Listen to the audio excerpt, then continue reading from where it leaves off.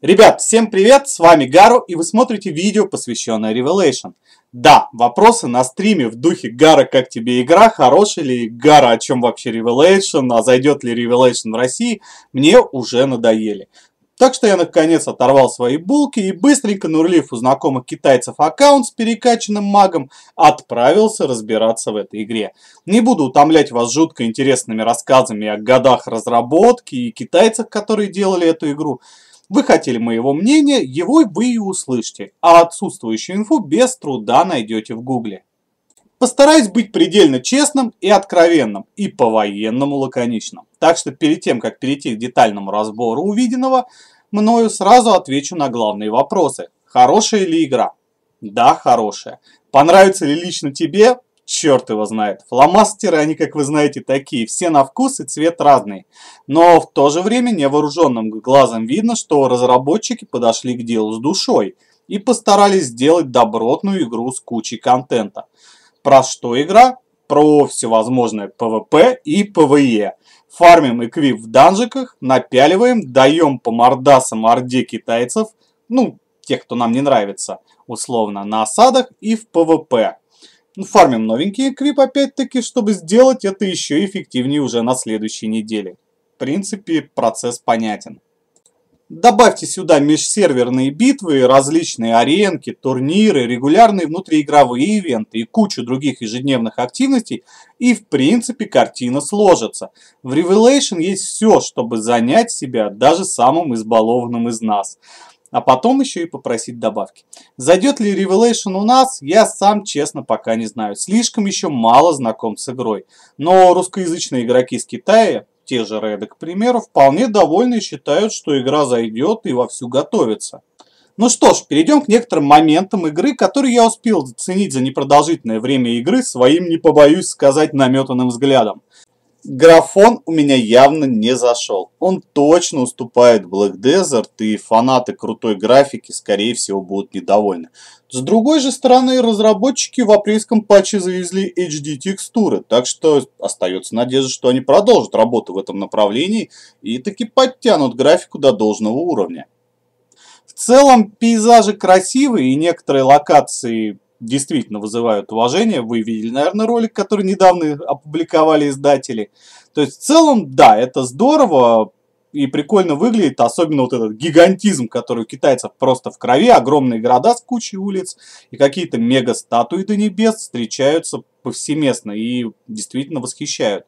Но всегда есть ложка дегтя. Этой ложкой дегтя для меня стала чрезмерно фееричная анимация скиллов. Да и модельки персонажей меня также не восхитили. По мне так текущая анимация откровенно вырвиглазная. Но ну, а чего вы хотите? Я обещал быть честным. Она вырвиглазная. Хотя справедливости ради так в свое время говорили и о умениях в БДО. Ничего, мы привыкли. Человек вообще такая скотина, что ко всему привыкает. Так что к разнообразным пиу-пиу умениям с кучей вспышек играющие в Revelation также с легкостью привыкнут. Что, на мой взгляд, самое главное, это честный и стабильный 60 FPS. Что в полете над пустынной локацией, что во время битвы китайских хорд. Примерно около 300 участников, которые сражались друг с другом. FPS вообще не колебался в боях. Мне, как вы поняли, не близка китайская стилистика, хотя и от корейского колорита меня тоже передергивает, но уже как-то попривык. Но, ребят, будем честны, в играх с графоном, а-ля Ведьмак Wild Hunt, последний, да, вы никогда не увидите боя даже 50 на 50. А что происходит, когда 300-400 человек пытается собраться в одной точке в том же Arcade или Black Desert, не мне вам рассказывать, вы сами это все прекрасно видели. Эти игры просто не предназначены для таких масштабов. А это вот предназначено и прекрасно работает на максимальных настройках, показывая все те же, извините, стабильный FPS. К сожалению, принцип нерушим. Либо космический графоний, либо стабильно комфортная игра и масштабная PvP.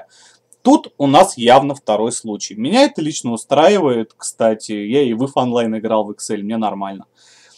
Коль уж речь зашла о осадах, расскажу и о них. Первое и самое главное, никаких непонятных боев в воздухе. На них нет. Кроме осад непосредственно воздушных замков, но это отдельная песня. В наземных замках во время осады четко работает ПВО и нифига не полетать. Так что стены прекрасно справляются с ролью стен, преграждая путь атакующим и все сражения идут на земле. Для меня лично это однозначный плюс. С другой стороны, привычными стенами и воротами обладают далеко не все замки. Собственно, на экране вы сейчас видите замок на минуточку, находящийся внутри горы.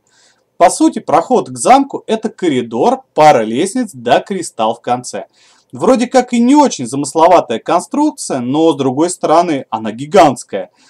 Именно место моря. Сами поглядите, в проходах хоть 100 игроков в ряд могут промаршировать. Они в принципе на это и рассчитаны. Китайцы там танковыми клиниями гоняют. Гигантизм во все поля. Насчет танков я как бы и не шутил вовсе. Вот они на экране, живые, обратите внимание, что они еще и разные. Со стороны осады выглядит очень бодренько и главное масштабно. Единственное, что жутко меня раздражало, так это гигантские ники и полоски ХП. Вот просто Красное море на тебя надвигается, а не волна игроков. Хотя, может быть, это где-то и отключается. Я так и не смог найти. Уж извините. Но на всякий случай можно повайнить и попилить издателей, чтобы они это поправили. Про саму механику осад расскажут сами локализаторы подробно или я отдельное видео сделаю. Посмотрим, в общем. Пока же о впечатлениях. Сходил с ребятами в тот же инстанс низкоуровневый относительно моего high-level персонажа. Ну, честно, забавненько. Конечно, но я вообще небольшой фанат э, вот этих PvE и рейдофилии не страдаю. Оттого не был впечатлен. С другой стороны, ребята явно были довольны. И все мне в один голос твердят, что Revelation отличные инсты и интересные боссы. Я, как уже честно признался в этой PvE части, что свинья в апельсинах, так что доверюсь чужому мнению.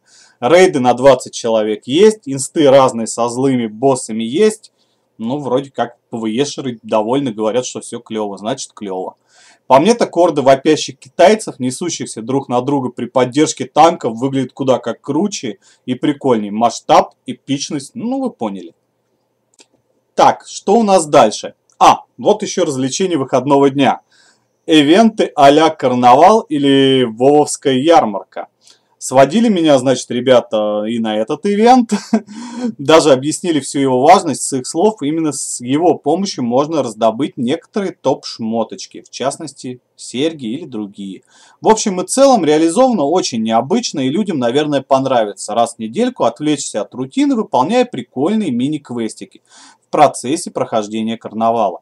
Да, как вы поняли, мы бросаем кубики и попадая на определенную клетку, мы получаем либо приз, либо отправляемся в одну из множества комнат со своими мини-заданиями. Последнее, конечно, куда как чаще. Но я, видимо, жуткий ретроград, и стоит мне увидеть хоть какой-то фан-сервис в моем серьезном фэнтези, как руки сами тянутся к огнемету, чтобы выжечь всю эту ересь. С другой стороны, разнообразие это всегда хорошо.